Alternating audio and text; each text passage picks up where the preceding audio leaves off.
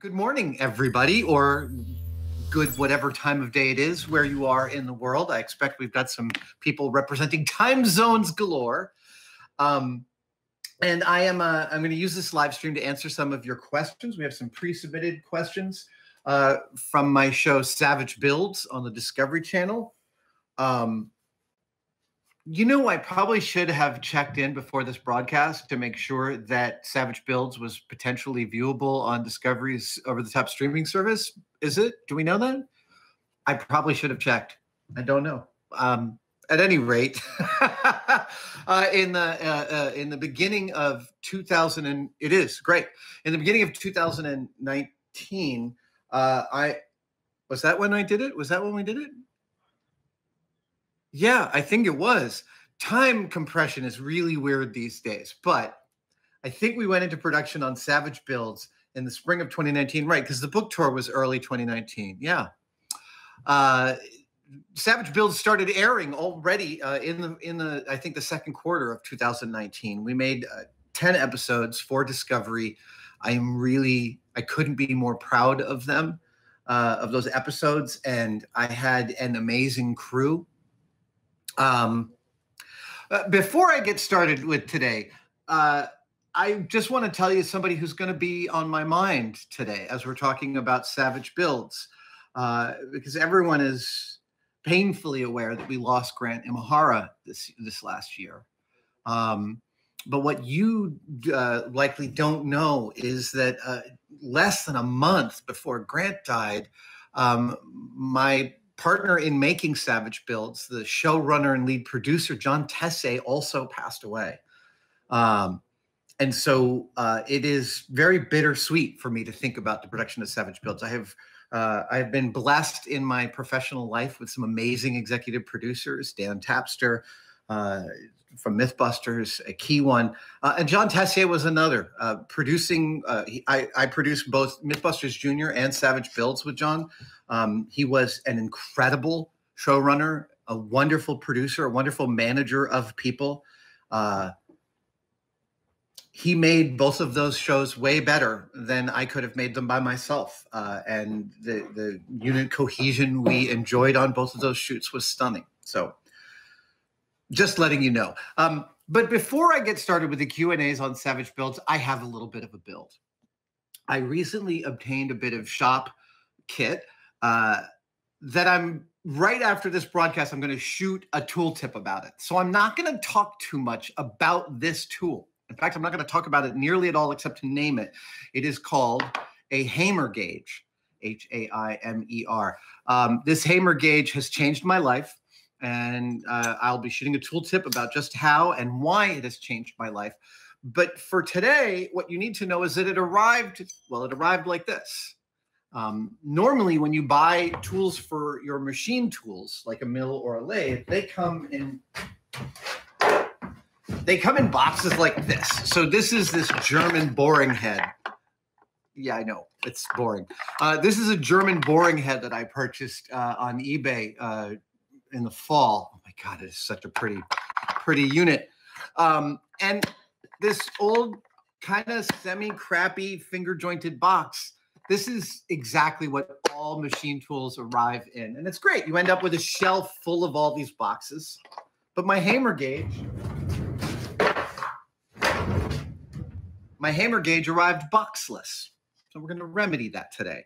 Now, uh, this gauge is in imperial measurements. However, it's almost always a metric gauge because almost the whole world is in metric, except for us here in the US and I think Myanmar. Uh, so it's got a 10 millimeter shaft, which doesn't quite fit any of the uh, five, uh, R8 collets I use for my mill. So I had to purchase a custom, uh, not custom, but I purchased a 10 millimeter uh, R8 collet to live with this so that when I need to use it, I can chuck it into my mill. That's the longest way of explaining that I'm going to build a box that fits both my Haimer gauge here. Oh, right. You can see the close up on that camera um, I'm going to build a box that fits both this Haimer gauge here and its collet because that's how I'm going to be using it almost all the time. Now, I did a little bit of a cooking show advance work. I did some cooking show advance work on this box build. Uh, and so I'm going to lay it out for you how this is going to go. I made some cradles out of plywood here. Uh, and these are simply three pieces of plywood. I drilled some different size holes in, and then I cut them in half. So um, if I put them like this, that's the top part, and this is the bottom part. And I think maybe you can see how this is going to go. Yeah, see that? So this one gets tossed. I don't need that one. Oh, actually, I might even be able to use that. Oh, that's pretty close. Yeah, could do it like this. Um, and that doesn't matter. So uh, then these two would be here in the lid, and my box would surround this shape like this, hinge here at this point, and allow me access to my Haimer gauge. Yeah, that's the goal. I've got some quarter inch, uh, uh, some quarter inch plywood here. So I'm going to start to mark out these pieces. I'm going to make some cuts on my table saw my table saw right there behind me. Uh, and uh, we're gonna just knock out a little box. I've got a, a 23 gauge pin nailer and some uh, some PVA wood glue, and I'm not afraid to use them. Okay, here we go. Break out a square. So uh, I think it's a parts list that I want to make here.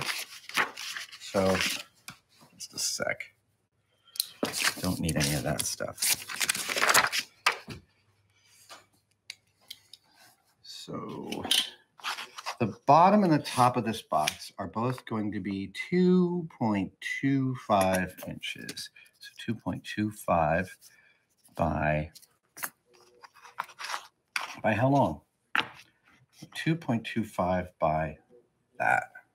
Right here, let's get out. Gonna get out the bigger calipers.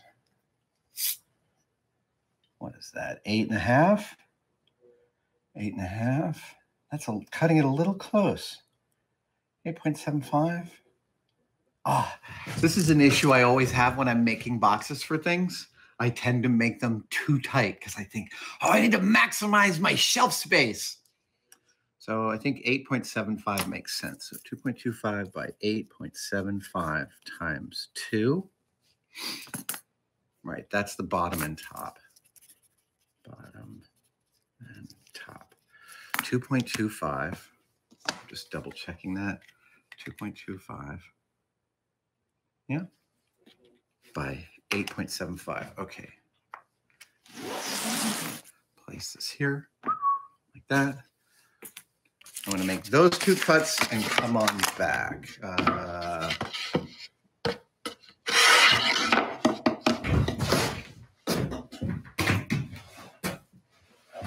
uh, right, right, right. I got to make my mark. 2.25. And 8.75. If I do that, I'm going to need to cut two of those. And then the 8.75 be trying to figure out where the marks are going to end up. Yeah. And then that one's going to end up like about. Yeah, I can be a little sloppy with that. All right. Uh, 8.75 is first cut.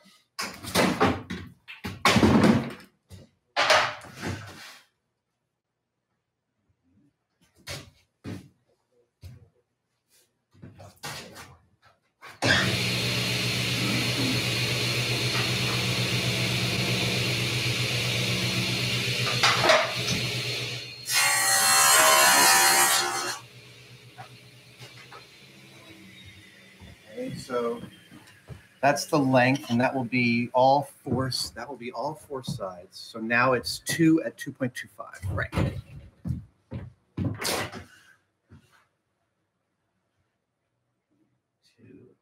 two, three. Okay.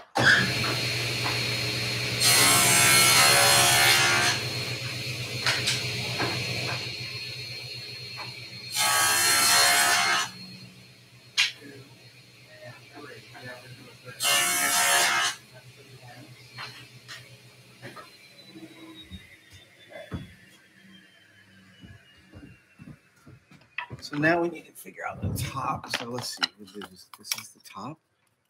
top, bottom, and we have this, we have that. Yep. And so, right, that's that. So if I do this, I allow it to be just a little bit bigger. Yep, I'll get two out of there. Okay, great. So these are the sides. And that's 3 point, let's make that 3.25. It's just a nice round number. 3.25 times 2. Yep.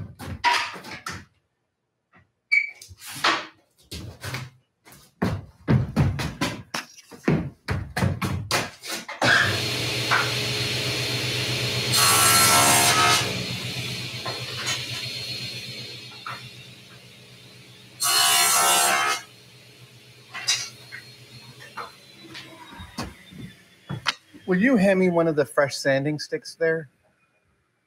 To the right. There you go. Perfect. Thanks, sir. okay.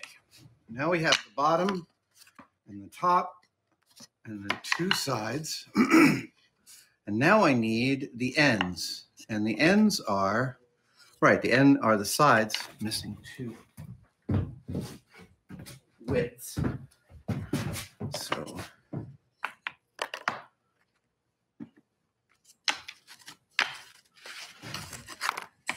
that, right?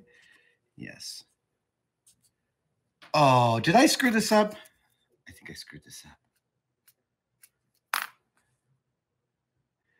Um,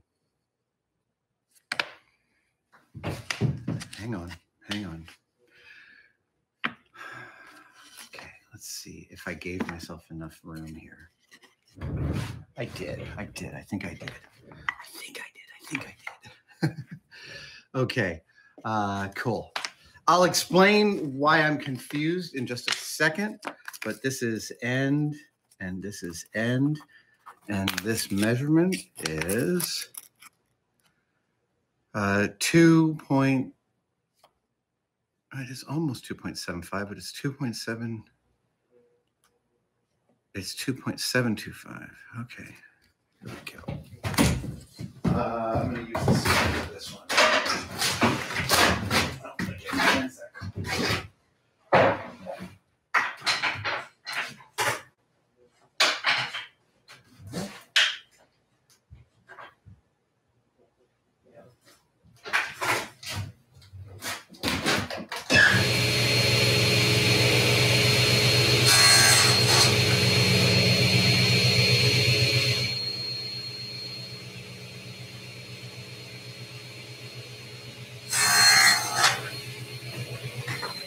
Okay.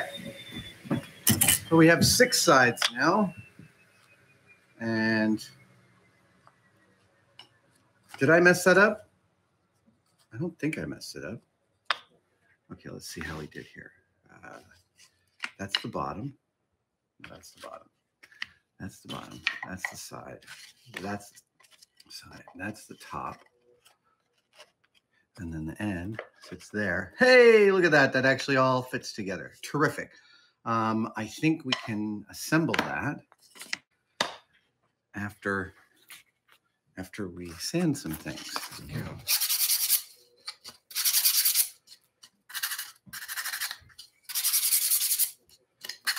Normally I do this on one of my belt sanders, but they're all behind the camera, so you're gonna get to see me do it in real time with that sanding stick. I used to make these out of out of tongue depressants.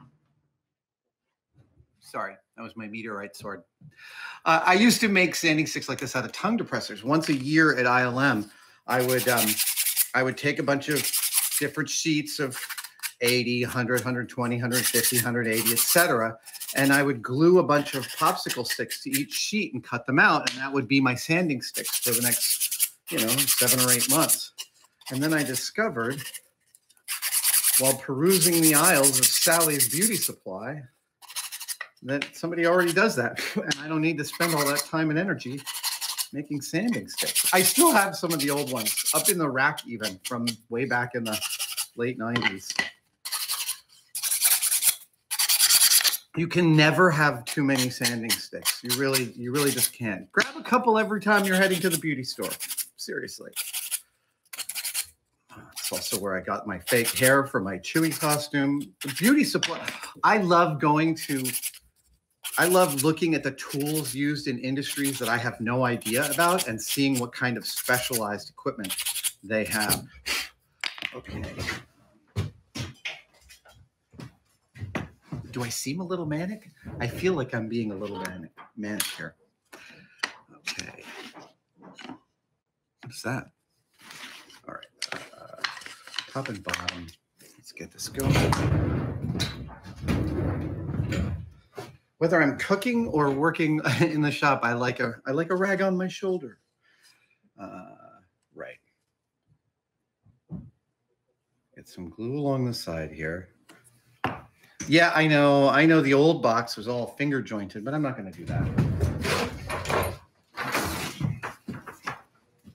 There we go.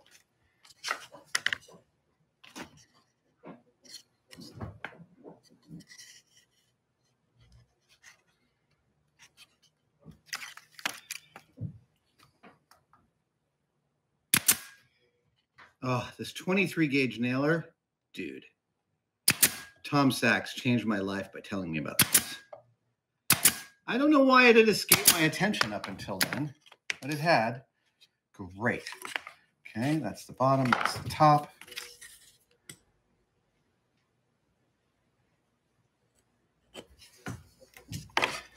Huh?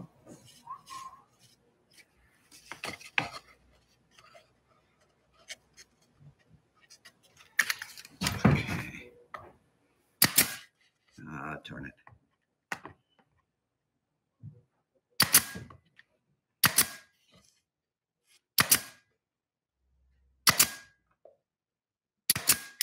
Come on, really? Don't blow through.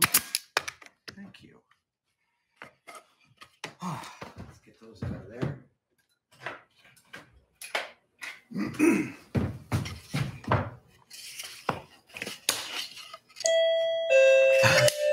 As always. Okay, here we go.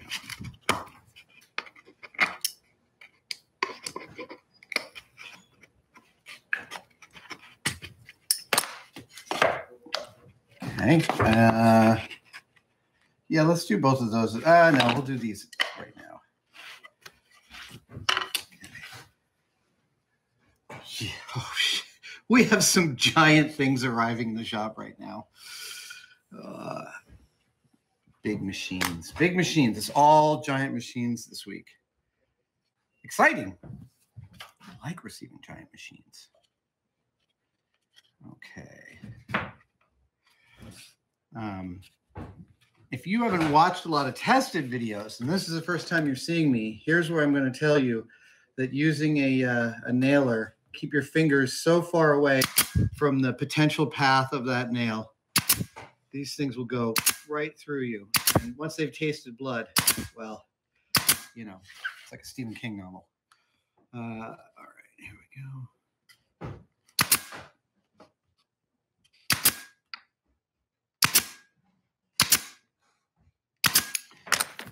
That is that is most of our box right there. I'm going to put in the ends.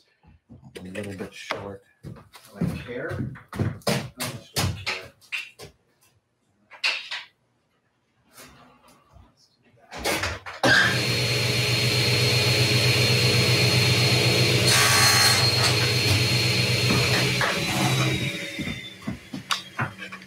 Better. All right.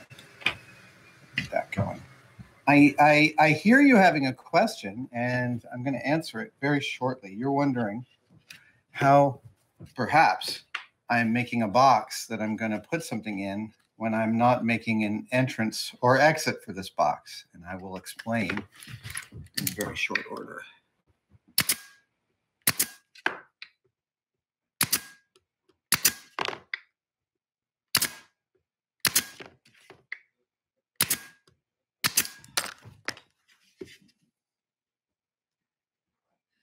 Uh, Yeah, just a little bit. Just a little bit. Oh, I love press fits. Oh, that's great. Fabulous. Just a few more staples.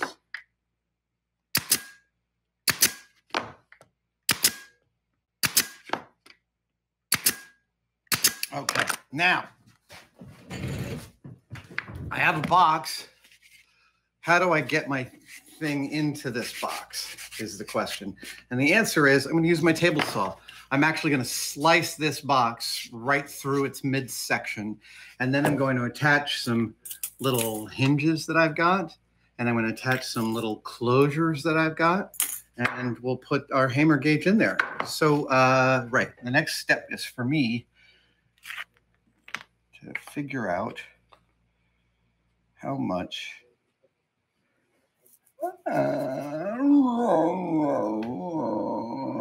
Yeah. Right.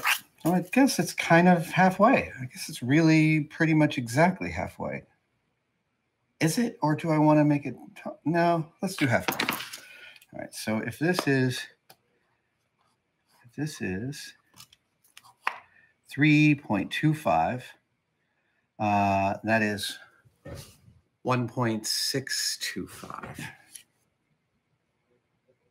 1.625. Great.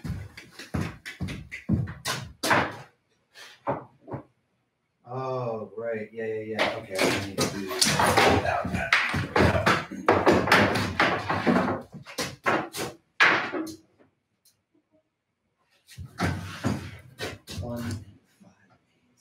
Actually, half the curve. Yeah, there we go. Thank you.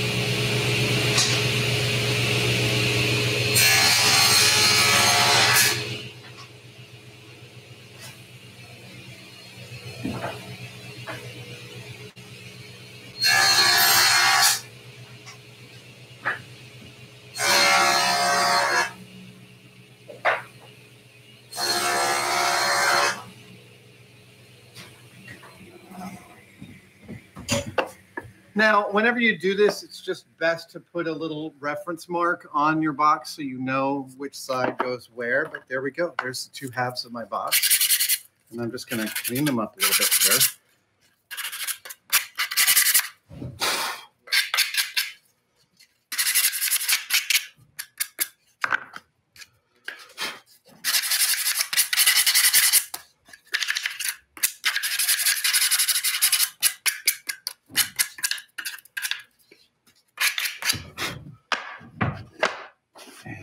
A, terrific. Uh, let's put some hinges on here. And this is going to be using my drill with a thin bit. And I've got some tiny little wood screws here. Put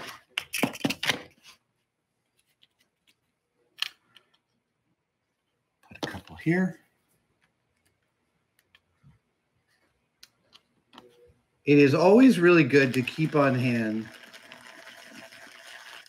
Oh, come on. Are you really are you really not gonna do you mean to say you're a bigger one? Huh. Sorry. I'm talking to my tiny wood screws, which seem to be sized for a number two. Just to take a look at this. Oh no, you want to take a look at it here. The these tiny little wood screws are nonetheless sized for a number two standard uh, Phillips bit. I'm not used to that. All right, so get this here.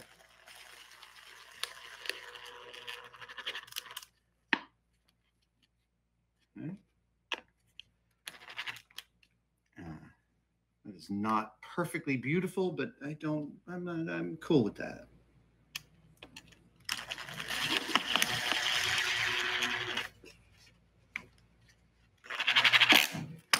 Yeah making this with the ah there we go.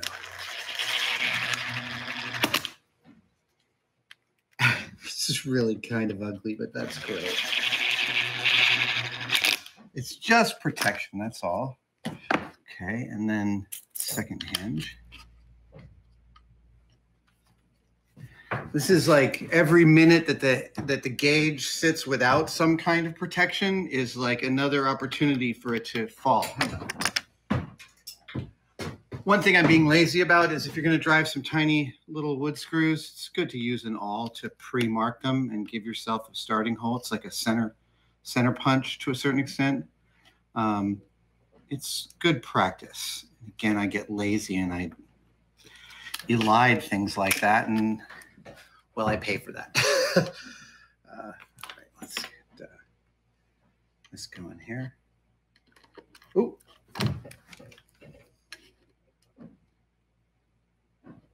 Lots of, uh, you know what I just bought that hasn't arrived yet? I bought a demagnetizer because I realized I have this issue with mag. It's, uh, I need to be able to attune the magnetism of some of the tools that I use because I end up with like these powerful magnetic bits that want to attract the things that I'm screwing into. And then I'm off to the races. Oh, there. Come on. Come on. That's it. I think I'm going to use one closure for this, not two, because I don't need two closures for it. But let me get this last screw in.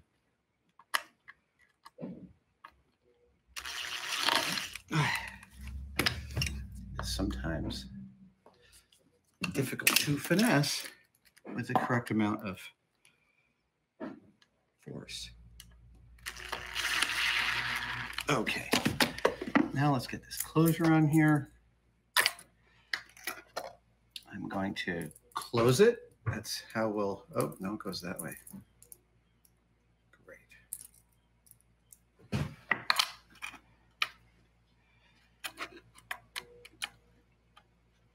Let's, uh, oh, you know what? Let's close that.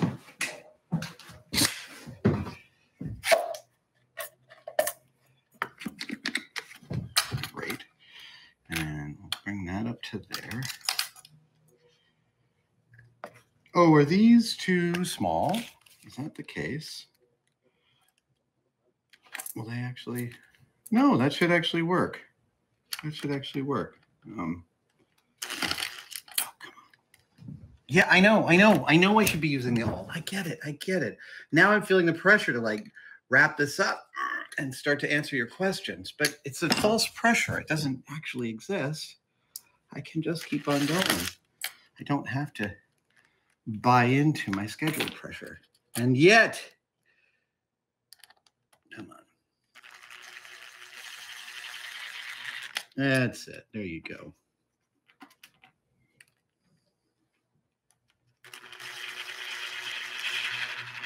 Great. onto this top piece. And mark it. And mark it.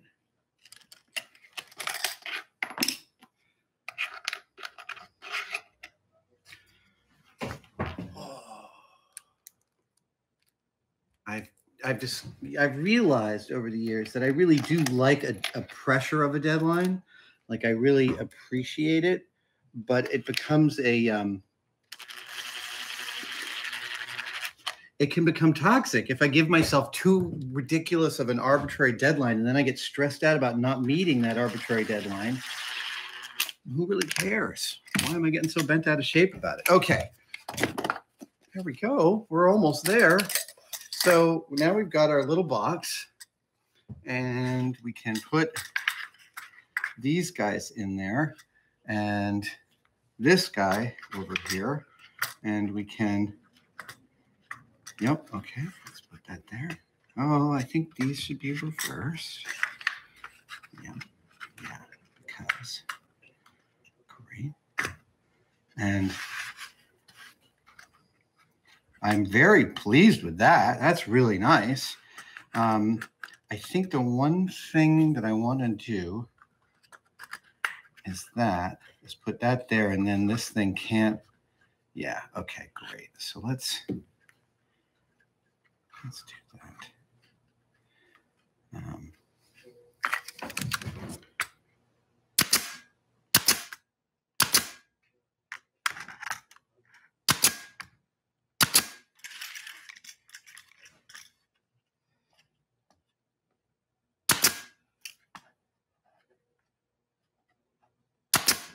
Uh, nailed it. All right. Come on. That's it. Oh, ladies and gentlemen, we now have a safe space for my Haimer gauge. There she blows. Now she can. Oh, yep. So it tips over that way. Yes. Now it can live on my shelf of machine tools safely and without improper, uh, without getting beaten up, un- uh, unduly beaten up. There we go.